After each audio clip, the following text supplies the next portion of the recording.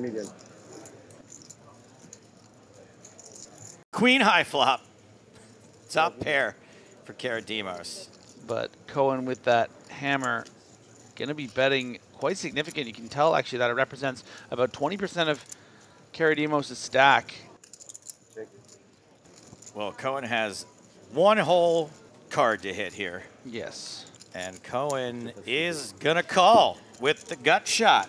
Karadimos just playing this so well. River card is the jack oh, of diamonds. Cohen gets there again. Only Uh, yeah, Ah, I there it it. is.